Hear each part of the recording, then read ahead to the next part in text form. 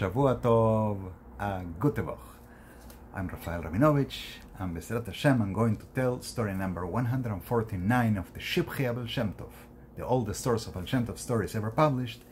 The title of the story is Atzalas Kehilos Yisrael Meforaim, the rescue, the saving of the uh, communities of Israel, of the Jews, from the destructors, from the hands of the assailants.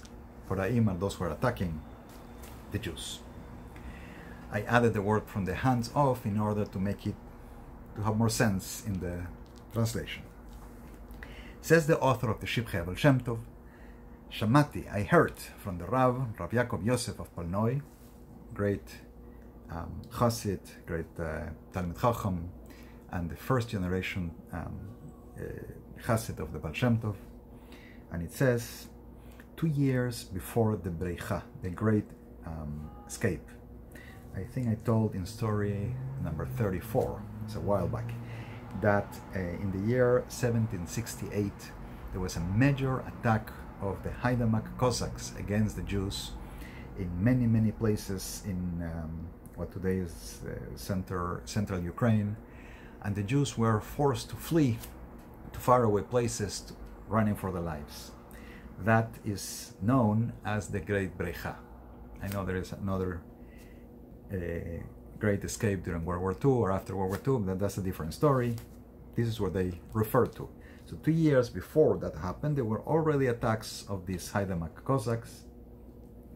There were kind of disorganized gangs of, of uh, uh, ruffian, of, of uh, how do you call um, outlaw Cossacks, and they were already attacking and making problems against the Jews. So two years before this great escape, the, the Brecha, Rav Tzvi, the son of the Baal Shem Tov, saw his father in a dream. And he was very much afflicted. He was in, in pain. He had a big problem, Rav Tzvi. He had a big debt with the Poretzim. Porets are the, the uh, landholding um, Polish aristocrats. And they were known to be not very pleasant with the Jews once the Jews went into debt with them. So he has a problem. He has a big debt with many of them, and he didn't have the money to pay with. So he's, what do I do? So he asked his father, Do you know of my problem? And the father said, Yes, I knew. Then he asked, Who told you? How did you know? So the Baal Shem Tov tells him, Those who walk through the paths, those who wander through the through the the uh, the path of the roads, the roads told me. And Rav Tzvi asked his father, the Baal Shem Tov, who are those who wander through the, the roads? The Baal Shem Tov tells him, Avraham, Yitzchak, and Yaakov, the forefathers. They go through the paths, the roads of Israel, wherever the Jews live, and they announce next to the the Kivrei Tzadikim, the tombs, the the, the, dwell, the burial of Tzadikim, of, of the righteous ones, and they told me of your problem, and I am free to talk to you now, but I must nullify the accusations that the the wrongdoers, the Haydamak, these wild Cossacks, are um, raising against the Jews. This dream happened about three weeks before Pesach, Passover. So the first day of Yom Tov of Pesach, there was an accusation against Jews in the community of Polnoi, and several people were taken prisoners. Obviously, the Haydamak and some people who hate the Jews are raising false accusations to cause the Jews to be imprisoned. So they sent a shliach, they, they sent a messenger to inform the Rav, the rabbi of the community, Rav Yaakov Yosef, that he should pray for them. And that, Shivi Shel Pesach, the seventh day, day of Pesach, Rav Yaakov Yosef recited or read from the Torah the Shirat Hayam. The Shirat Hayam is the song that the Jews sang, the, the Israelites sang when they crossed the um, Red Sea and they were miraculously saved. And he did so with great happiness, great joy. And while he was reciting Shirat HaSayam, he hears people talking. And he said, Seems like you misappreciate that I say that the Shechina, the divine presence, is dwelling, is here with us while we're reciting Shir HaSayam. And I have great bitachon, I have great um, security in, in, in Hashem, in God, that He will nullify the accusations. And so, in those final day, days of Pesach, the Jews were released from the um, bondage wherever they were, were held, and the accusations were found uh, baseless and were completely nullified, completely annulled.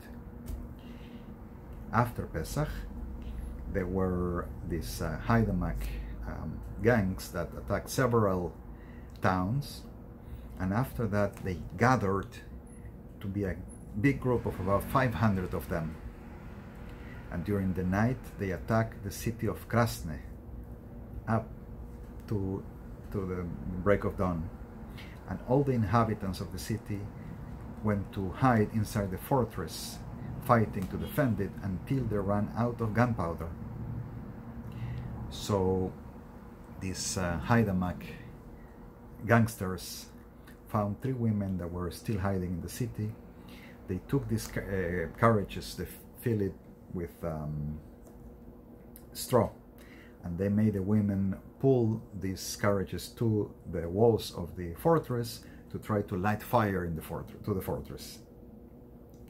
There was a, a military uh, camp of the Polish army nearby in the city of Tuberov, and in that moment they sent somebody to warn them and the, uh, the Polish army came with these huge cannons.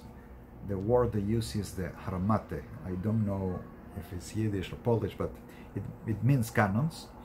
And once they come to where the Cossacks were attacking and they open fire, they disperse, they run away.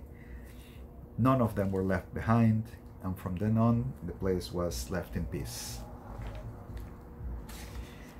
It doesn't say what happened with the debt that Rav Tzvi had, but I am to assume that he too was rescued from his personal debt.